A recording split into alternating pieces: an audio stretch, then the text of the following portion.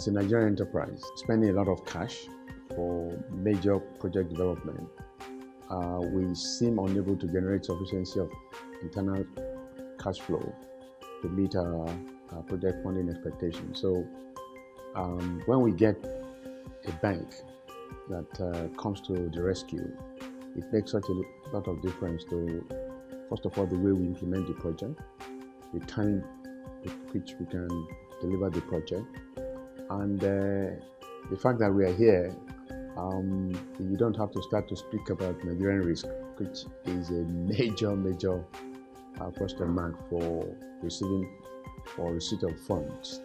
For the oil industry, um, which is perceived as a very specialized uh, um, uh, environment, funding has been very, very difficult to, to, to obtain, particularly from commercial banks.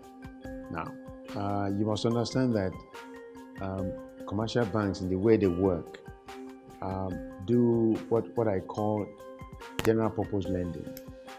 But for the oil business, there are various components. It's got to be long term, it's got to be a lot of money going to one single end user.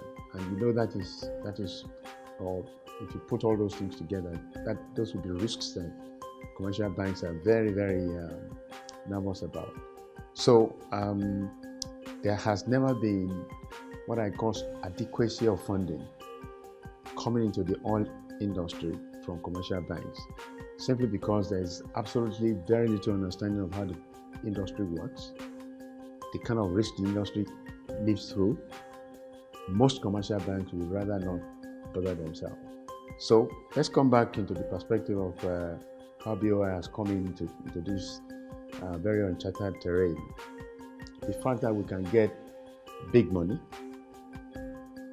long term, structured in such a way that it is convenient for the bank as well as the recipient, like us, to come to terms as to how best to deploy that money and how to make sure that the money, you know, uh, ultimately um, is used for the purpose it is obtained for, and it is at the same time uh, over time returned with sufficiency of uh, uh, whatever interest back to the bank.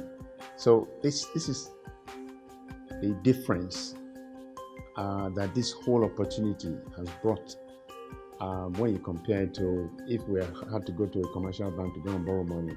I can tell you it's a very very painful exercise.